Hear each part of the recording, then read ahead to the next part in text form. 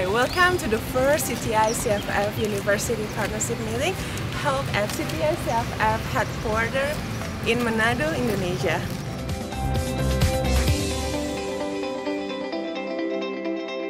The event is a continuation of MOU signings between CTI CFF and reputable universities back in 2016.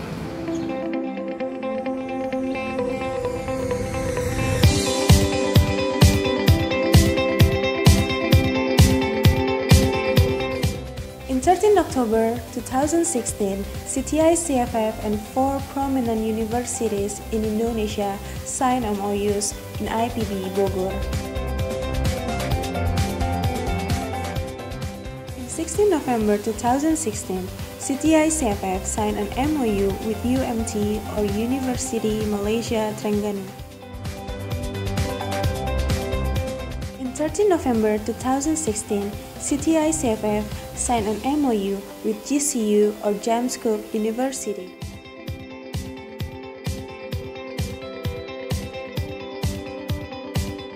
So today, all parties are convening here at CTI CFF Regional Secretariat Building to exchange and discuss various challenges and opportunities of the university partnership.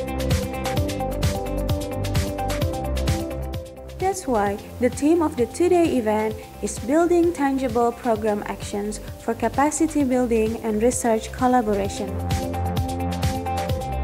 During the two-day event, there will be three focus of discussion that will be reached referring to the following themes.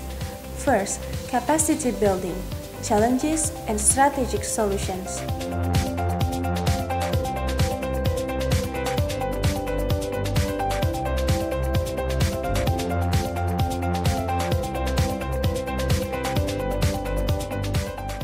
Second, research collaboration.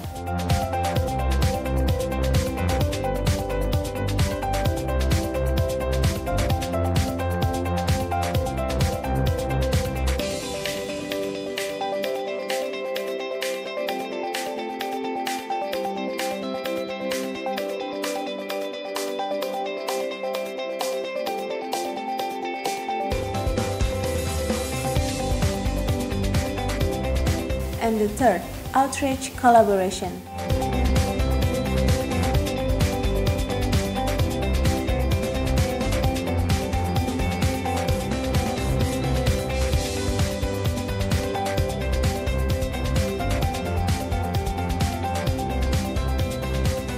But before we continue, let's watch the CTI CFF Regional Secretariat Executive Director, Mr. Widi A. Pratikto PhD speech. Ladies and gentlemen, on behalf of CTI CFF Regional Secretariat, I would like to cordially welcome you all uh, to this meeting. It is an honor to me to be this very important meeting. This meeting is a unique platform to start a new step of engagement and partnership involving the important role of university into programmatic approach and implement, implementing regional plan of action along with other activities under framework of CTICFF. Hopefully we end up with recommendation. To conclude my opening remark, I would like to encourage and reiterate the meeting to produce a set pragmatic approaches, viable work plan, and tangible outcome under CTI CFF University Partnership. Once again, I would like to convey my high gratitude and appreciation to all participants for the effort and valuable time attending the important meeting. Let's create a momentum and build solid engagement on university partnership under CTI CFF umbrella. Thank you for your attention.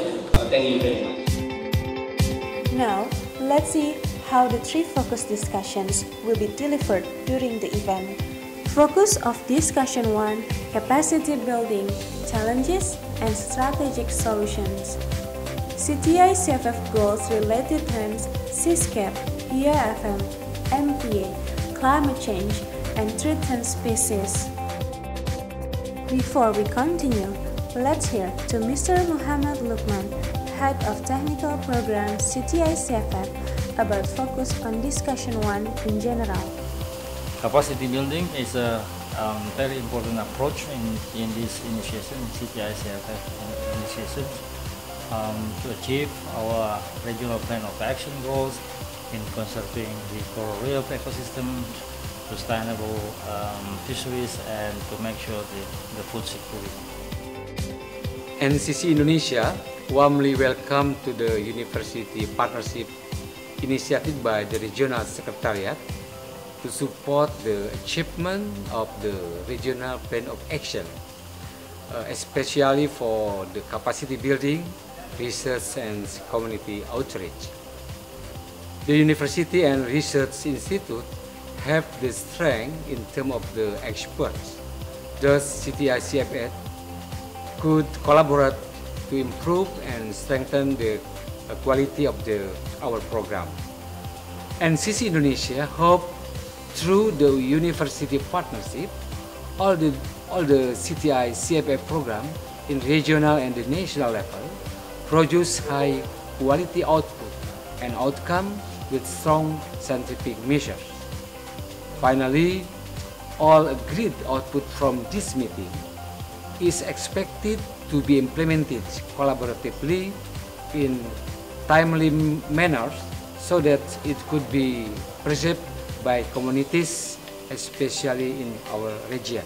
Yeah, uh, we suggest uh, that to get uh, things moving, especially on the the role of CTI uh, uh, countries and how uh, we can provide supporting the capacity building.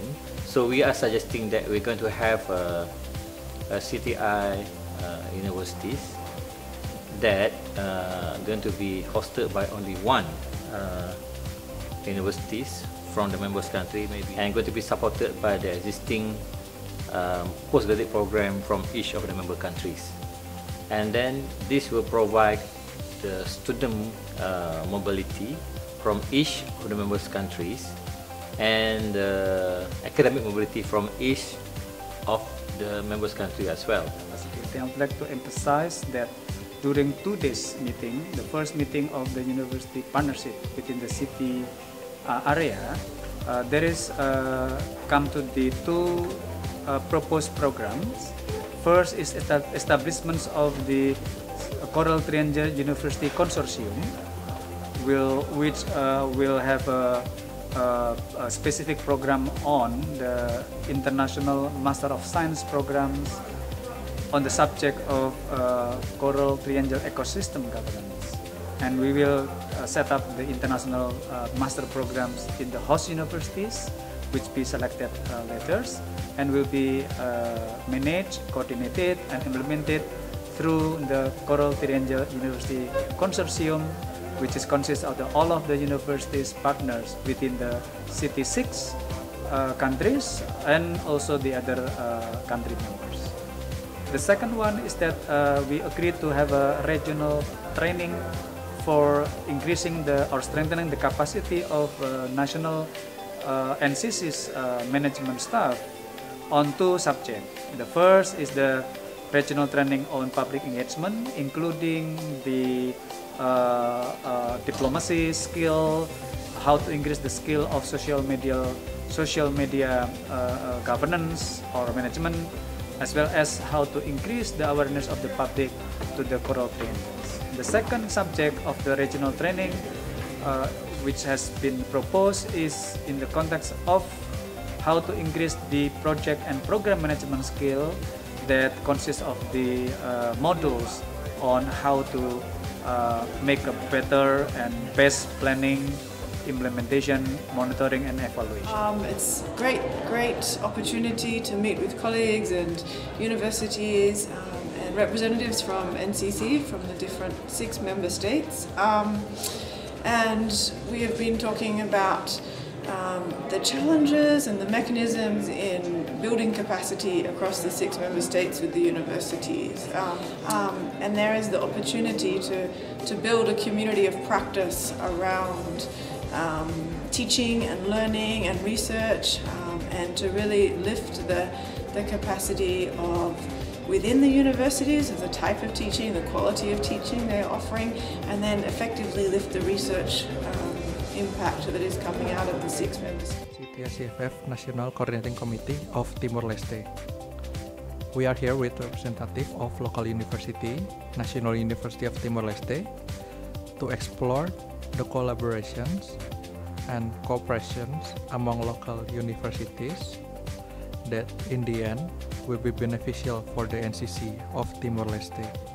As we are all aware, capacity building is one of the important programs in the format of university partnership. For instance, one of the problems we are facing is illegal, unreported, unregulated fishing in our territory.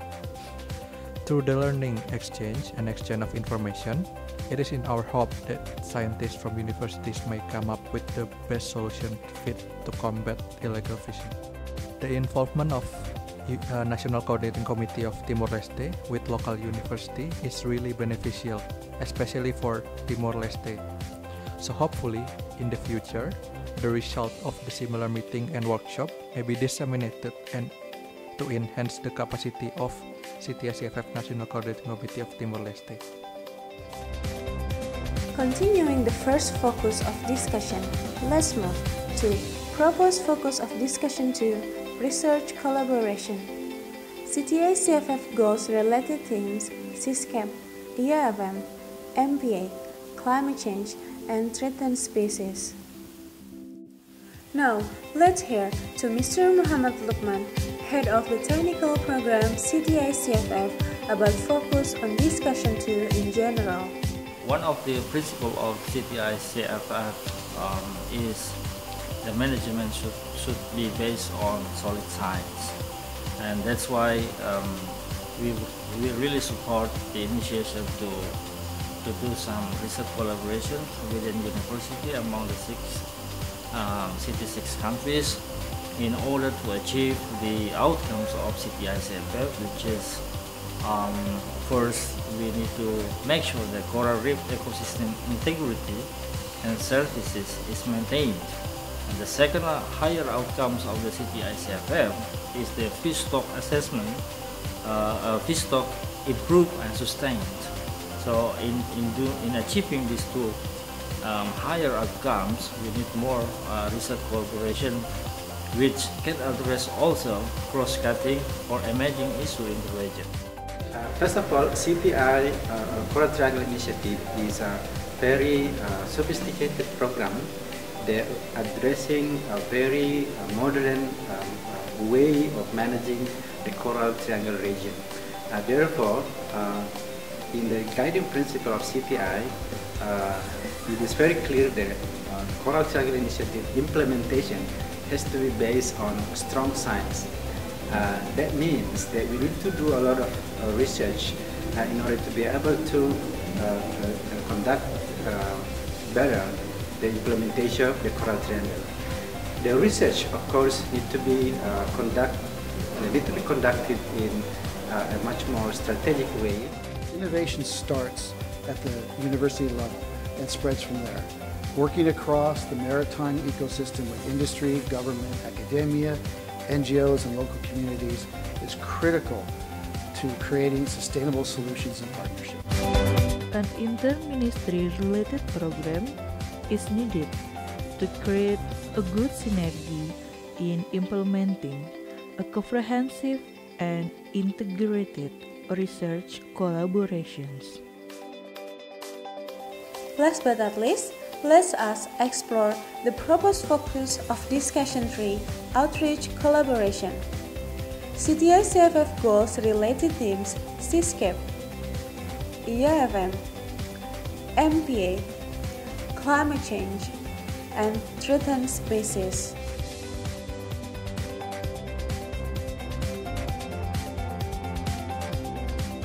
Finally, let's hear to Mr. Muhammad Lukman, Head of Technical Program, CTI CFF, about focus on discussion 3 in general. Another important issue in outreach program that um, offered or proposed by the uh, university partnership meeting is um, how to encourage or how to uh, propose uh, more internet-based lecture. So each university can provide lecture which can be uploaded to the um, to the available uh, social media and whatsoever, or what, whatever media provided to, um, to boost uh, the exchange knowledge between uh, students, also between uh, lecturer among the countries. Uh, from the point of view of uh, outreach collaboration, I would like to see a more down-to-earth transformation from knowledge uh, acquisition from research to real world application for the uh, benefit of the coastal communities. Uh, at the moment, the, uh, the scientific activities uh, related to coral reefs is maybe too academic in some sense. So we need to be more um, uh, on the uh, uh, implementation of the results. More applicable. More applicable, applicable uh, solutions, real solutions to the uh, for the benefit of the coastal community. Uh, my opinion for the university partnership uh, outcome, uh, I would suggest if for immediate action, uh, it would be proper or good to help uh, for the universities to help with outreach programs uh, by releasing of the students to carry out awareness on our behalf because sometimes uh, we don't have the capacity or in human resource to go out into the local areas. Uh. We have to think on how the six member states with different universities have similar perception for the human resource. Therefore, it is important to establish a university partnership. In many areas of our work, we actually need to partner up or to work with universities. And these provide us the avenue and the framework of how GIZ can actually work and coordinate better with those selected universities. For example, currently we are already working with one of those university, uh, which is University of Malaysia Terengganu. We have uh, one undergoing research with them, and we hope that we will have even more collaboration with other potential partner universities. We are assigned to facilitate the cooperation between two countries, Indonesia and Malaysia, both in basic education and higher education levels. Embassy of Indonesia to Malaysia is happy and ready to facilitate the meeting and mobility to realize the commitment of this university partnership. Now, let's hear what the chair of the first CTI-CFF University Partnership Meeting says about the particular event. Um, I think this meeting is very strategic because um, what we are having in this meeting is bringing new partners to the CTI. Uh, previously, we have uh, what we call partners. Partners is the NGO and also the private sectors. And we also have NCC. NCC is the formal entity for CTI which is representing each country. Now what we are doing is bringing university as an, the official partner of CTI at the regional level. Um, I think before this, university, the involvement of university in CTI is already there. This is not a new thing. In Malaysia, we have quite you know, few universities that are engaging in CTI. But this new approach is, is, is better, I think, and more strategic because the partnership is, um, I would say, it is strengthened at the regional level. It I think, personally, I would like to see from this meeting is to really look into the, um, the mechanism. We must really establish a mechanism where we can bring the university and support them to contribute to the CTI in a much better way compared to previously. And in order to do that, I think coordination is very, very important. we really need to find coordination between NCC, between university, what is the role of regional, what is the role of NCC. It must be clearly defined because university is still within the jurisdiction of respective country. So whether they are allowed to go cross country or, you know, but that will be defined, uh, it should be defined in this meeting. And I think that would definitely strengthen CTI.